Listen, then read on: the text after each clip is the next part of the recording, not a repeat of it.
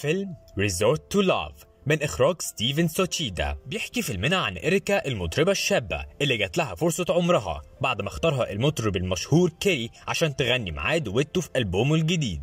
وبتجهز إريكا في بيتها بكل حماس عشان تروح حفلة إصدار الألبوم. ومعظم القنوات مستنية الحدث ده لكن من توترها الفستان بيتقطع. فبتقنعها صاحبتها أمبر إنها تقص فستان فرحها وتركبه على الفستان المقطوع. وقالت لها إن جيسون خلاص استحالة يرجع لك وبتوافق إريكا وفي الحفلة بتتصدم إريكا إن المطرب كيري قرر ما يصدرش الألبوم عشان حد سرب أغنية منه وكسر اللابتوب قدام كل الناس. واتكسر قلب إريكا زي اللاب وكانت منهارة من العياط. سمعت صوت جيتار وحد بيغني قامت وقالت لهم بلاش الأغنية دي عشان دي بتاعت خطوبتي على جيسون اللي سابني قبل الفرح بشهر عشان شغله في تشارلستون. وفضلت إريكا مكتئبة لحد ما قالت لها أمبر مش عايزة تتفسحي جزيرة في مدغشقر بتطل على المحيط الأزرق وطبيعة خلابة هتغني في فندق خمس نجوم وتغيري جو وترجعي. قالت لها إريكا يعني أنا ضيعت جوازتي وضيعت عمري في الغنى وفي الآخر أغني في فنادق ولكن وافقت إريكا بعد ما أقنعتها أمبر إن دي مغامرة جديدة أحسن من الاستسلام.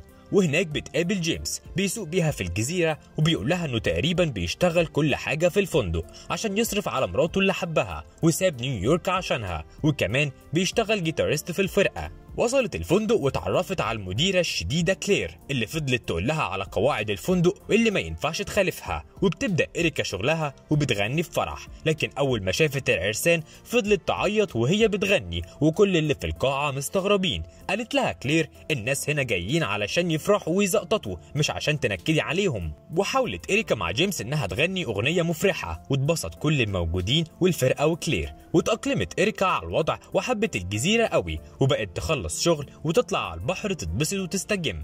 لحد ما في يوم سمعت حد في البحر بيغرق. جريت عليه عشان تنقذه لكن هو شدها لتحت عشان بيدور على الكاميرا بتاعته في المية. وبيظهر حد ضخم شاله هو وإريكا وطلعهم وإدى الراجل الكاميرا كمان. حضنوا الراجل عشان يشكره وأعجبت بيه إريكا عشان شجاعته ووسامته وهو كمان أعجب بيها وبشجاعتها وتعرفوا على بعض. اسمه كيلب كان في القوات الخاصة في الجيش الأمريكي لكن سابه. وعرفته بنفسها وعزمها على مشروب بس قالت له عندي شغل للأسف. وهي راجعة قابلت جيمس وحكت له على اللي حصل ففرح لها. بس قالت له واشرب معاه ليه؟ ما هو كده كده هيسيبني زي غيره. وجوه الفندق بيتقابلوا تاني صدفة وبيهزروا سوا وبيقول لها إنه هنا علشان فرح أخوه. بتبص إريكا بتلاقي إن أخوه هو جيسون حبيبها الأولاني. بتحاول تستخبى بس للأسف صاحبه كريستيان بيشوفها وكمان جيسون بيشوفها وبيتوتر. بتقوم بيفرلي خطيبة جيسون واختها ماجي وبيتعرفوا بإريكا وبيعرفوا إنها صاحبة جيسون من نيويورك بيحضن جيسون إريكا وبيترجاها ما تقولش حاجة عن علاقتهم. وبتعرف إريكا إنه ارتبط ببيفرلي من سنة قبل ما يسافر تشارلستون يعني وهما مع بعض. بتمشي بيفرلي وبيتعاتب جيسون وإريكا يعني انت سبتني عشانها؟ فبيقول لها انت أصلا ما كنتيش فاضيالي. كان كل حياتك الغنى. وأنا لما جالي الشغل ده ما كنتش مرتبط بيكي. قالت له يعني تقوم تختفي فجأة كده وتسافر؟ صح؟ قال لها بصي مش هنتعاتب على اللي فات. يا ريت نتجنب بعض وما تقوليش حاجة لبيفرلي وبيحكي جيسون لكريستيان وكيلب عن الوضع السخيف ده. وبيقول له كيلب لازم تكون صادق مع بيفرلي وتقول لها. قال له انت عامل فيها كابتن أمريكا. الدنيا هنا مش زي الميدان. أنا كده ممكن أخسر الاتنين. بتحاول إريكا تتجنب جيسون وبيفرلي لكن قدرها خلاها تقابلها صدفة وعزمتها على رحلة لجسر الجبل. حاولت تعتذر بس كلير المديرة أجبرتها تروح. بتقعد إريكا معاهم كلهم وبتحكي عن الغنى والألبوم اللي باظ وخطيبها الأولاني وإنه سابها قبل الفرح بشهر. فسألتها بيفرلي عن السبب. قالت لها عشان جاله شغل وهيسافر وأنا رفضت أسافر عشان الغنى. قالت لها لو كان بيحبك كان هيحب اللي بتحبيه. وسألتها بيفرلي إذا كانت لسه بتحب خطيبها ده. فجه جيمس وقال لهم يلا بينا على الجبل. وفي الطريق سألها كيلب أنت ما جاوبتيش على السؤال. أنت لسه شايفة جيسون حب حياتك؟ فقالت له إحنا قعدنا أربع سنين ونص مع بعض استحالة المشاعر دي تختفي فجأة. وعلى الجسر بيقعدوا كلهم بشجاعة وبيتبسطوا إلا جيسون بيقف في النص خايف بيشوفه أخوه وبيفكر يروح له علشان ما يحصلش زي حادثة مخيم بولاسكي لأن جيسون بيخاف المرتفعات. لكن إريكا بتكون الأقرب بترجع تاخده وبتقول له ثق فيا وبيروح معاها. بتحضنه بيفرلي لكن بيفضل باصص لإريكا بشكر بيفكر جيسون مع كريستيان إنه ممكن يكون كان غلطان إنه سابها ومتردد في جوازته من بيفرلي. وفي حفلة وداع العزوبية انفصل الشباب عن البنات وبيقول جيسون لكيلب أنت طبعا قلشت عليا إني خفت فوق الكوبري. مش كده؟ يعني مش كفاية إنك ظابط الجيش اللي ما حصلش لأ كمان عاوز تاخد الأضواء كلها ليك. فقال له أنت أخويا الصغير العبقري وأنا ما قلشتش عليك ابدا. وهدى كريستيان ما بينهم. أما البنات فغنت بيفرلي كاريوكي وغنت اريكا أغنية حزينة. بيبعت جيسون رسالة لاريكا بيقول لها عاوز أشوفك في الجنينة لازم نتكلم. ولما طلعت له قال لها أنا ما سبتكيش علشان الشغل أنا سبتك عشان كان حبك للغنى أكبر من حبك ليا. حسيت إنك مش محتاجاني أصلا. أنا آسف إني أذيتك. وقالت له أنا آسفة إني خليتك تحس الإحساس ده. بتحكي بيفرلي لإريكا إنها بتحلم ببيت جميل وأطفالها يلعبوا في الجنينة مع ولاد الجيران وجيسون يكون بيطبخ وريحة طبيخه مالية البيت. وبتوصلها إريكا لحد أوضتها وبتقول لها بيفرلي إنها مبسوطة إنها عرفتها وإنهم أكيد هيكونوا أصدقاء.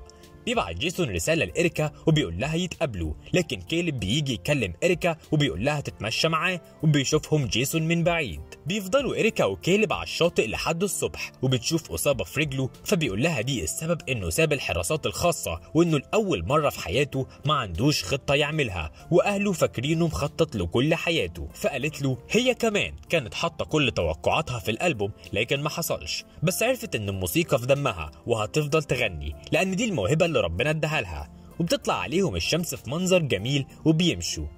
بتظهر نعومي مامة جيسون وبتضايق بيفرلي ببساطها وكمان بتقوم تقول أنا بخسر ابني النهارده بسبب إغواء واحدة ليه فبتتحرج بيفرلي. لكن بيقول كيلب إنه ما يعرفش في العلاقات بس يعرف إن الحب التزام ودعا لهم ربنا يوفقهم في حياتهم. بيبعت جيسون لإريكا إنه يقابلها في أوضتها وبيجي يخرج بيلاقي بيفرلي جاية له الأوضة وبتقول له إنها متوترة بسبب مامته جدا ما كانتش تعرف إنها صعبة قوي كده وهو كمان قال لها إنه متوتر جدا.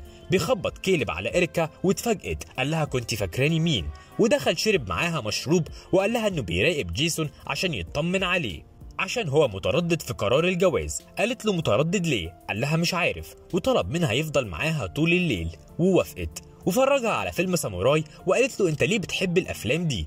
قال لها علشان فيها أخلاق وشرف.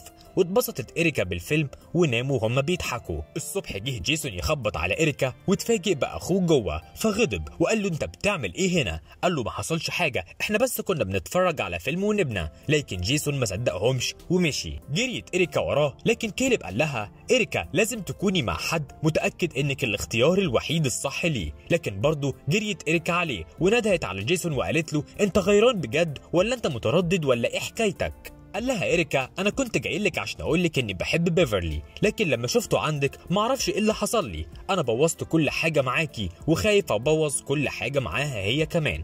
قالت له إريكا لو ما كنتش أنت اللي لغيت فرحنا كنت هلغيه أنا. فاستغرب وقال لها أمال حبك ليا دلوقتي ده اسمه إيه؟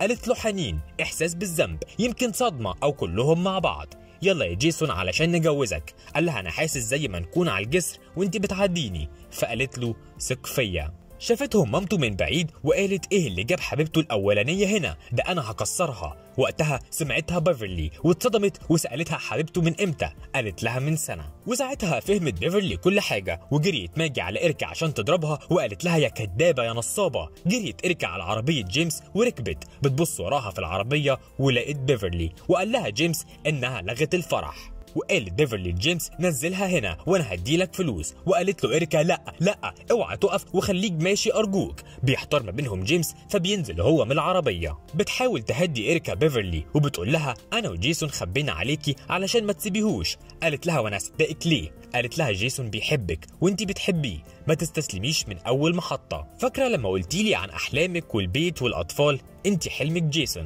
لكن أنا حلمي كان الغنى مش جيسون. أنا بس اللي كان جوايا إني ما كنتش نهيت العلاقة دي. قالت لها مصدقاكي. وهتيجي معايا تنهي العلاقة دي. وانت اللي هتغني في فرحي. ولسه بتنزل من العربيه لقيت ماجي في وشها. وفي الفرح قال جيسون لبيفرلي إنه قد إيه بيحبها زي ما هي بكل حاجة فيها. وجوزهم جيمس والكل كان مبسوط. وفي الليل غنت إريكا أغنية الألبوم لبيفرلي وجيسون وكانت فرحانة وكلمت أمبر إريكا وقالت لها كيري رجع والألبوم هيظهر. فردت عليها أنا عندي مغامرة أحلى هنا بكتير وعاشت مع كيلب أحلى مغامرة كلها حب وانطلاق. وبكده يكون الفيلم خلص. ما تنسوش تزوروا صفحة فيسبوك لفيديوهات أكتر. لو عجبك الفيديو دوس لايك واشترك في القناة.